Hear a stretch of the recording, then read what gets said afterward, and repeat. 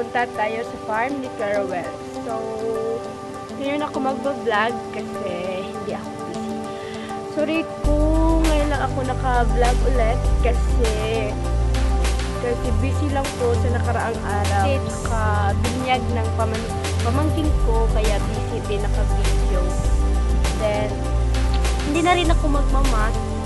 Mas kasi yun lang naman yung pupuntahan natin.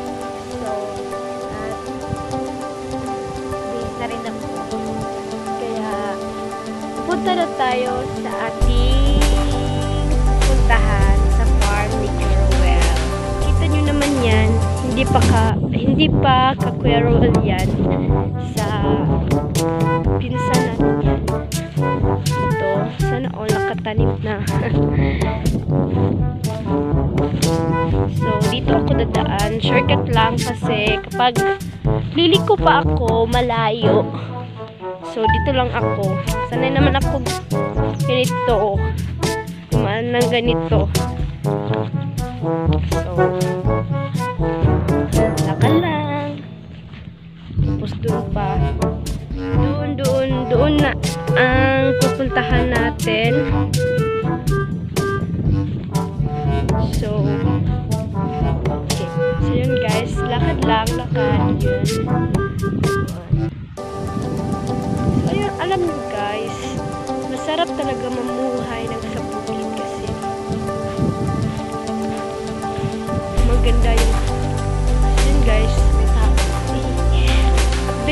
kayo kapag muna ako sa farm ni. Ba, guys, lapit na tayo. Then, so, mahirap na yung daanan. Teka lang po ah. Yan. So, dito ako dumaan. Hirap. Lang ako sa ganitong daanan kasi yung pag elementary ko, elementary pa ako, ganito yung dinadaanan namin, shortcut. Kasi ayun na, layo na nga pag doon pa niliko pag pupunta para natin. So, yun guys, narating na natin yung kabasakan ni Carwell. So, ayun, di ko alam yung Tagalog ng kabasa ko. Ipapakita ko lang sa inyo yung buong kabasakan ni Carwell. So, ito, dyan, kabasakan ni Carwell. So, yung mga tinanim ay kinain lang ng mga kuhol. So, ayun rin, di ko alam Tagalog ng kuhol. Ito. Ito yung basak niya. Ito, kinain na ng mga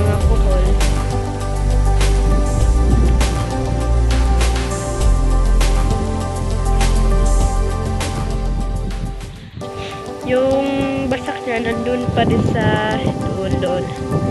Dito ko lang kaya kasi dyan naman ako dumaan kasi nandun yung bahay namin. Malapit lang naman. Ito. Dito hanggang doon sa unahan. Basak na kung ganito yung boses ko kasi yung boses ko na na ano basta. Ito sayang dito oh malaki yung nakukuha. At nakuha kinain ng mga kuhol. Dyan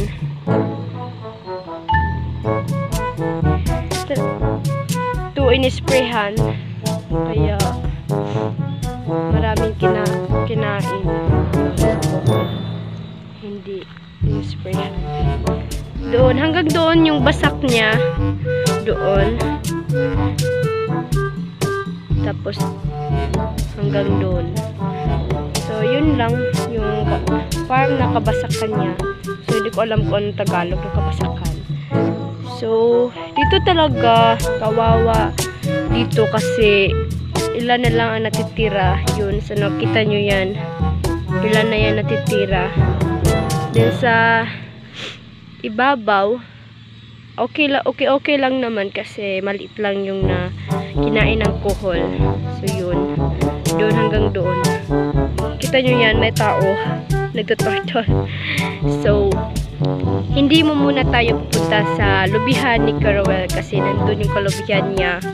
Kasi, uh, may nagtutortol kasi. Um, hindi, marinig ng pag-video natin. So, sa basak muna tayo at saka sa kanya ritong palm oil. Ito, malaki to. Doon, nandun pa. So, dito ba to sa basak. So, pupunta na tayo sa palm oil. Ayan guys, tapos na tayo sa basakan niya. Farm na basakan niya. Tapos, dito naman tayo sa palm oil.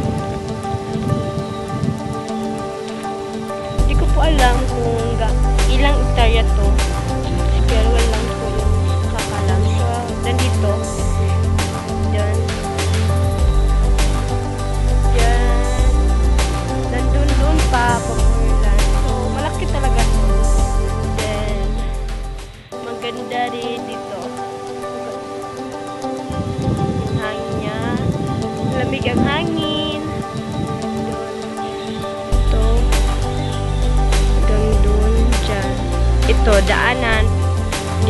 Pwede rin dito dadaan. Patungo sa amin. So, yun. Itong power palm oil hanggang doon. Dyan. Kasi malaki nga to. So, hindi ko alam kung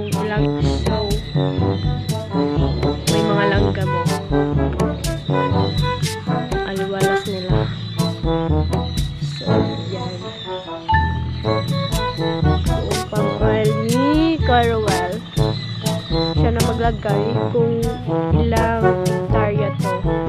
Yan. Hanggang doon pa yun. Yun. Hanggang doon pa yung palm oil.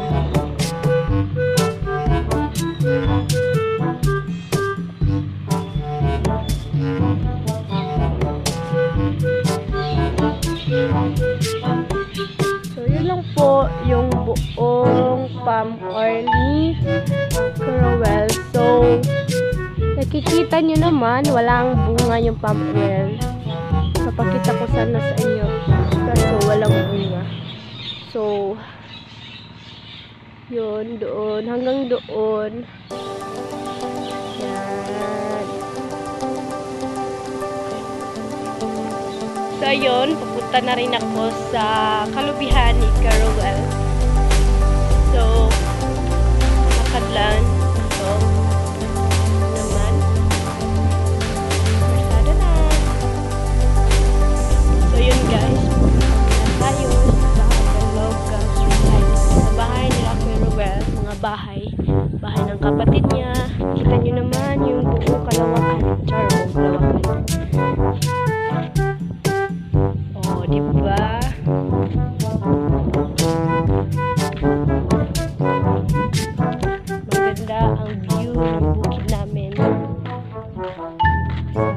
Kasama na rin yung kagandahan ko. Joke lang. So, yan. Kita niyo yan. Yan. Doon yung palm oil niya. Wow! doon, bahay ng Balongas Residence. So, pupunta tayo doon. So, nakita nyo naman, highway na yung dinadaanan ko. Papuntang, sa tawag pa namin dito, sen, sa sentro doon. Doon sa doon, malayo. Tangki, so fish pond ng Balongas.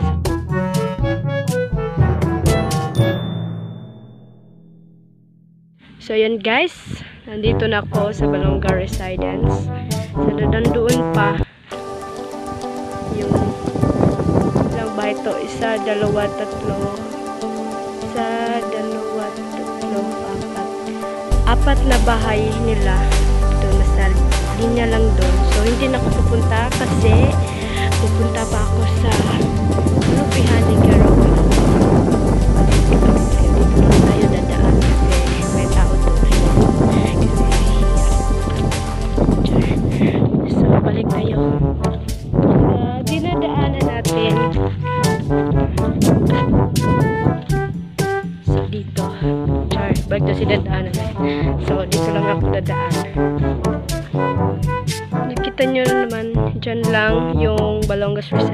Sa linya rin yan, nila sa mga kapatid niya.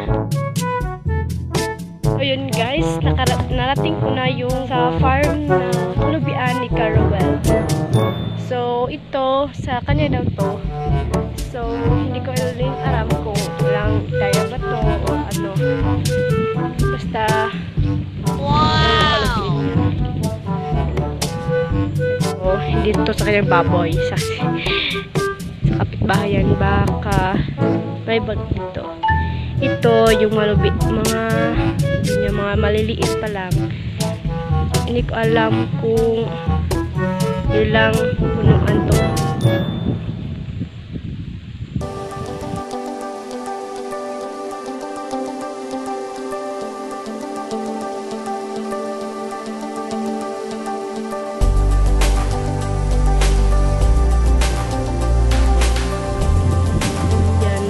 kalabaw dalawa. Hindi yan sa kanya. Ah, sa kapitbahay yan. Kanino yan. So, yan. Yun lang po. Yung buong kalmen. So, ayun lang. Magkatabi lang yung palm o kalubihan niya, palm oil, tsaka basakan. So, baka may basakan pa siya doon sa Kansulaw pero hindi na ako pupunta doon kasi ang layo na. So, yun lang. Doon. Tsaka dito. Kalubitan. Tsaka bahay nila. So, malapit-lapit lang yung farm niya dito sa bahay niya. Bahay nila doon. Dito dyan. Kalubihan. Dito. Tsaka palm oil. So, yun guys, yun lang po yung buong video. Nakita nyo naman, dito pa ako sa palm oil kasi dito rin din ako dadaan patungo sa. So, hope you like this video and don't forget to subscribe, like, share, comment, and hit the notification bell for more upcoming videos. Bye!